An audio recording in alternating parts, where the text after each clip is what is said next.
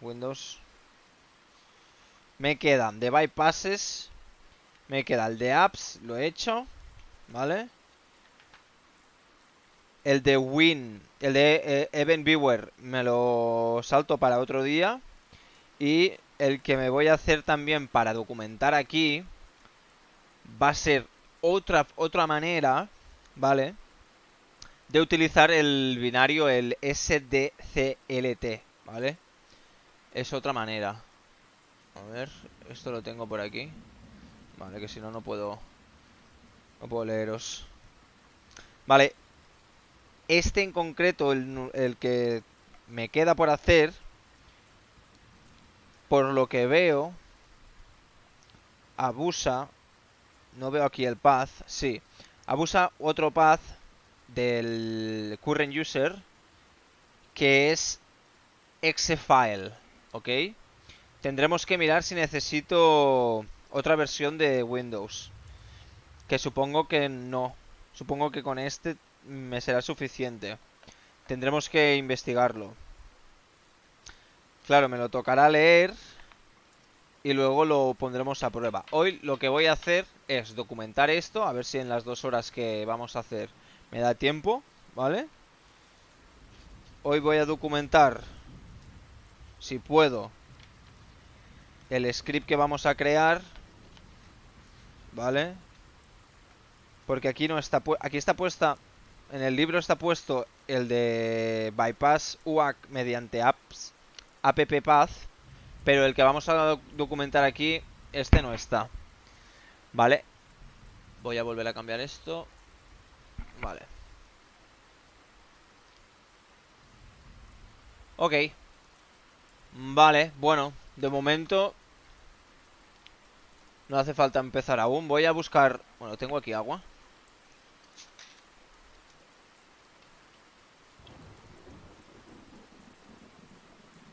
Ah. Nos lo tomamos con calma, quedan cuatro minutos. Vamos a respetar bien los tiempos, que si no luego nos pasamos de la raya. La música, cuando me mutee, la voy a subir un poco, ¿vale? La de la lluvia, digo. Yo la escucho bastante fuerte, pero del OBS la he bajado un poco. No sé cómo se escuchará, pero para que se me escuche mi voz la he bajado un poco, luego ya la subiré.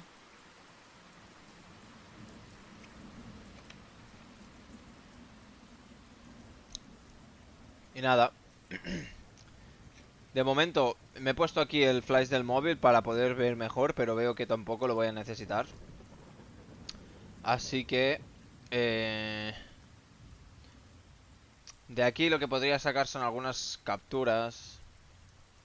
O sea, realmente lo tengo todo hecho ya.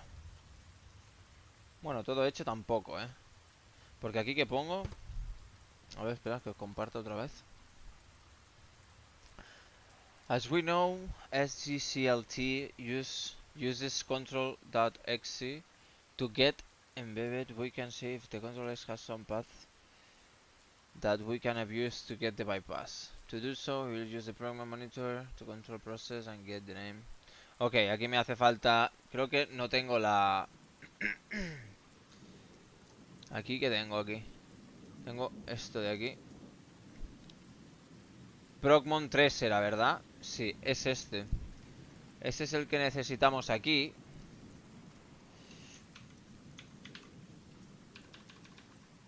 Vale, ese es el que... Y aquí ya me estoy calentando. Proof of concept. Aquí puse Procmon. Eh, vamos a poner Process Monitor. Tampoco nos repetimos. Y aquí otra vez. Eh, process Monitor. Vale. Si queremos ver cómo queda, le damos al Jigsaw. Yo lo estoy haciendo con Jigsaw. Me gusta, la verdad. Lo tengo por aquí. Vale. Eh, creo que no se ha actualizado esto. Oh, porque no he guardado. Soy gilipollas. Siempre me pasa lo mismo. Guardamos. Le damos aquí. Vale, ahora sí, ahora se ha actualizado. Vale. Lo que estoy lo que estoy haciendo referencia aquí, vale, cuando he terminado. Esto podría esto podría ponerlo abajo. Esto lo podría poner aquí. Porque esto aún forma parte del de arriba. Esto lo voy a poner aquí. Lo voy a poner aquí porque no tiene nada que ver. Esto lo voy a bajar. Bájalo. Ahora. ¿Vale? Aquí ponemos qué ha hecho Microsoft para parchear el, el de arriba, ¿vale? Y nada. Es que lo ha cambiado. Ha puesto... Le ha cambiado el modo de instalación. Y aquí nosotros vamos a usar otra vez del HKCU. Ok. Y nada, vamos a esperar a que termine esto. Yo me he terminado la birra. Tengo agua. Creo que tengo todo. Pues nada. Vamos a preparar. Nos vamos a mutear. Una horita, eh, gente. Una horita y... Podéis hablar igual por el chat. ¿Vale? Hablad con o sea, con vosotros, en plan, comentar lo que queráis. ¿Ves? Lo sabía. Eh, por mucho que yo le modifique el sonido en la página web aquí no se modifica. Bueno, este sonido es suficiente. Vale, vamos a cambiar todo. Voy a subir un poquito más esto. Me muteo. Y ya nos vemos luego, ¿vale?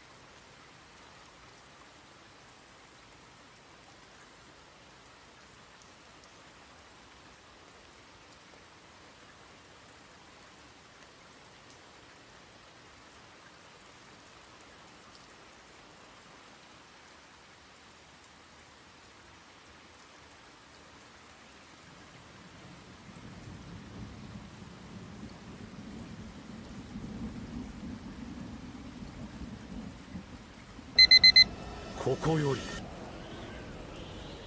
世界に痛みを。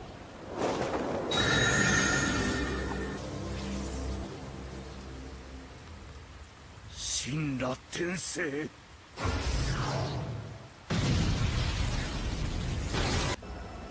ここより世界に痛みを。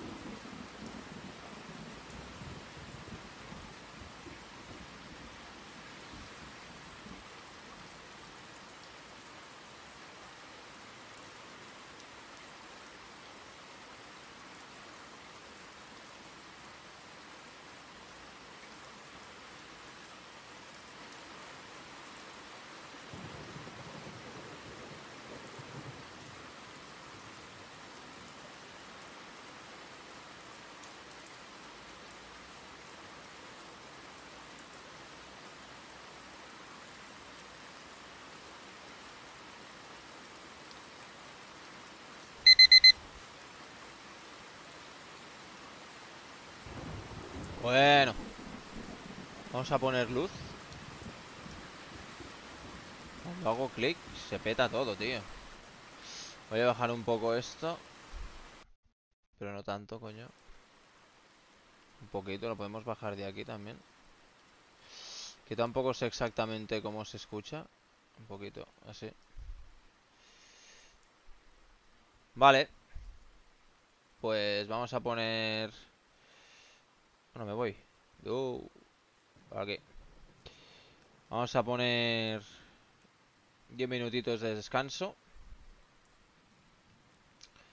Vale, vamos a cambiar esto. Hemos hecho una de dos. Vale, he sacado bastantes cosas, ¿eh? He sacado el script. He entendido bastantes cosas del script. Voy a dejar terminado esta parte y... Y me pondré a leer. Que ahora sí que voy a necesitar el móvil. Para meterle un poco más de luz al ambiente. Para leerme el apartado este. Y ya solo me quedará... El del exe file y el Event Win. El, el. Event Viewer. Y ya estaría. Porque este de aquí ya lo he hecho, el de AppPath. Este es el que ya tenemos. Hostia, pues... Ahora que lo pienso, cuando vi el, el script aquí, en el libro, dije... Cago en la puta, esto será difícil, ¿eh? A ver, lo que me ha dado más por culo es porque iba, iba... No sé, al principio no me salía el script, me petaba, no sé por qué. Pero ya he entendido para... O sea, he entendido cómo evitarlo también, estas, estas cosas. En plan, si nosotros tenemos configurado estas políticas, la de... Esta de aquí la ponemos a 2, ¿vale? La editamos y la ponemos a 2. Y esta de aquí ya está bien... Ya está bien seteada esta en 1. ¿Vale? Pero si esta de aquí la ponemos a 2, lo hacemos más restrictivo. Luego lo vamos a probar. Bueno, lo podemos probar ahora. Puedo probar esto. Y puedo probar esto. En teoría lo que tendría que pasar... Eh, es que me salte el prompt. ¿Eh? ¿Desea guardar? Pues sí. Hostia, se me ha cerrado. Tú, cabrón.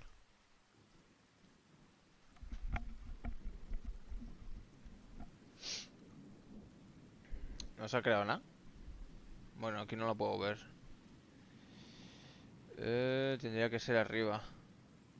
Esta de aquí, corren users, software, clases, F folder. Claro, es que también se peta. Vamos a probar este, a ver. Este es el 1, este no me sirve. Fuera.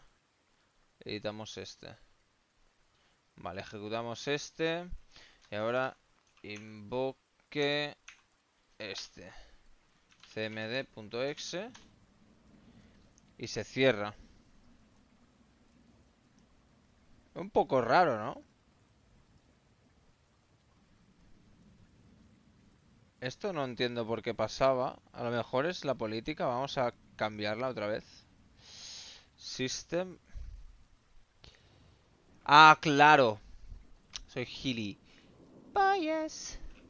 Vale, vale, ya entiendo qué pasa, coño. es que soy gilipollas. Esto de aquí lo tendría que quitar. Porque si no me sale todo el rato, tío. Soy un poco... de aquí. Lo quitamos. Claro, tío. Ahora, ahora sí que vamos a poder ver lo que os digo. Eh, se ha ejecutado, ¿no? Vale. Invoke. Eh, eso. Vale, cmd.exe. El término es... ¿Cómo? ¡Hostias!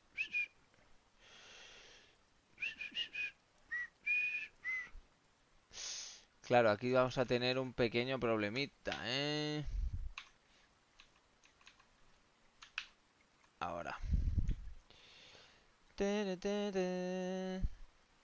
Ice cream. Tengo esta canción a la cabeza, tío. Con su puta madre. Vale, otra vez. Vamos a darle. Es que sé que va a salir... Va a salir lo del prompt.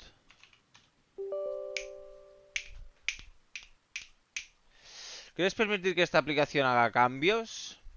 Esto es una de las opciones. Si le doy a que sí, me autohackeo.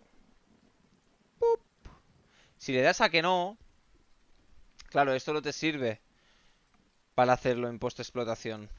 Porque no puedes darle a que sí. Pero, eso está bien, dejarlo así. Está bastante guay. Pero había otros. Este es el por defecto, lo hemos visto aquí, ¿eh? Lo hemos visto aquí. Eh, aquí.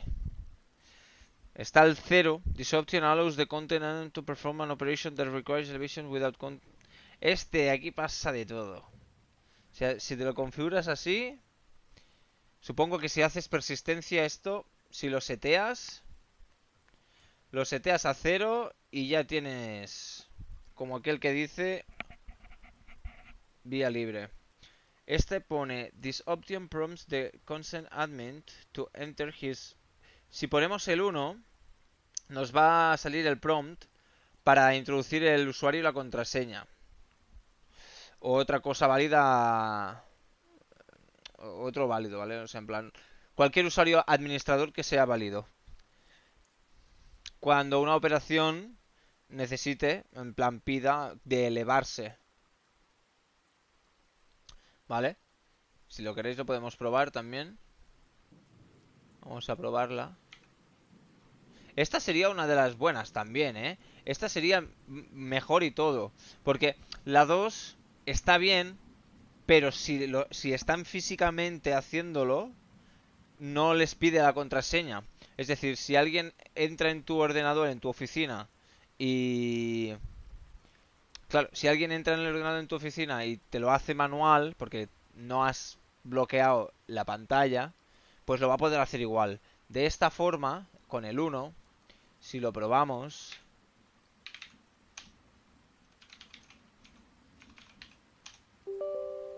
¿Ves? Te sale esto y esto de aquí ya necesitas una password. Esto ya es más... Esto ya es más seguro. Mira, primero, por lo que me gusta esto, es porque... ¿Ves? Y ahora se... Se peta la ejecución. Primero me gusta porque te puede avisar directamente si estás tú en tu PC y te salta esto. Te puede avisar de que algo está haciendo cambios en tu PC o lo está intentando, al menos. Porque puede ser que el, el virus no, el antivirus no te lo detecte. Entonces, te va a saltar esto y aunque la mayoría de veces la gente le dará que sí porque no sabe lo que está haciendo y no sabe lo que le pasa, porque lo sé, que incluso saltándote eso lo vas a poner igual. Pero este, para tenerlo seteado como en el ordenador de trabajo, bueno, a ver, lo tendrías que tener, tendrían que venir por defecto así. Porque, o sea, es muy vergonzoso que te venga con esta opción y que esta opción por defecto sea vulnerable. Porque realmente este PC, o sea, este sistema operativo es vulnerable porque este está a 5. Porque el otro ya está a 1. El otro necesario, que es este de aquí. El prompt, este ya está bien seteado, que es el 1. ¿Vale? Pero este de aquí tendría que estar en el 2. Bueno, que no es... Aquí pone 2 equal 2. Pero sería equal 1. Sería... Bueno, vamos a leer los que quedan. Porque yo sé que con este no lo puede hacer. Con este tampoco. Con el 3... Este lo mismo. Este lo mismo que el 1. This option prompts the consent to enter his uh, password. Ah, la diferencia es esta. This operation occurs on the secure desktop. Y este no. Que no sé... El, esto es lo que he mirado antes. Y pone que lo ejecuta en una memoria mmm, para... Bueno, en una memoria... Eh, dentro de la memoria, en una memoria segura o algo así. Este no. Prompts the administrator in admin approval mode to select either permit or deny an operation that requires elevated privileges. If the consent admin select permit, the operation will continue with the highest privilege. Per eh, Coño, qué susto me da todo el rato esto, loco. Tendré que cambiar el sonido. Prompt for consent. Remove the inconveniences of requiring the users enter their name and password to perform the previous task. No entendido. O sea, nos pone lo de permitir denegar. If the consent elements uh, select permit, the operation will continue with the highest privilege style. Prompt for consent. Remove the inconvenience. Ah, vale, ok. Creo, creo que es otra. Proof of consent remove the inconvenience of requiring the user enter their name and password to perform the privileged task. Ok. Y este es el que tenemos. Aquí he visto que hay más. Que hay hasta 8. El 6, the, se the settings are not supported in Windows. Uh, on Windows is also known as the Windows Penaris mode. Este es como el 0. Server message block SMB versions 2 and 3 protocols is not supported with is not supported in Windows 2000 servers with XP and Windows Server 20 these versions of Windows use special well no está nada mal, eh, lo digo en serio esto no está nada mal vale, la horita que me queda voy a aprovechar para eh, terminar de documentar esto. Vale, el post. Este post lo voy a hacer bastante largo porque quiero agrupar todo lo que tenga que ver con el binario S, mm, SDCLT, ¿vale? Lo quiero agrupar todo. Y luego... Eh, y luego voy a leerme, claro, voy a leerme, voy a hacer el, otro, el del eh, el Files, se llama. Bypass UARC Files eh, through SDCLT. ¿Vale? De momento esto me lo voy a dejar aquí para leérmelo ahora. A ver cómo lo puedo hacer, porque supongo que lo podré hacer con la máquina virtual que, que tengo. Si no pudiese, pues me tendría que bajar otra ISO. Pero bueno, esto se hace en un momento. Vale, vamos a por la segunda sesión y luego ya me iré a comer. Hostia, que en teoría... Mm. Esto ha sido un poco cake, ¿no? ¿Cómo me ha pasado esta hora? Tan rápido. Un poco cake W. Bueno, eh, cambio todo esto. Vamos a darle a iniciar una horita más. Aunque supongo que me van a llamar para comer luego, ¿eh? Espero que no. Espero vaya. Eh, voy a subir esto un poquito. Vamos a subir volumen. Vale, vamos a subir lo del vídeo también. Y me callo un mes, ¿ok? Bye.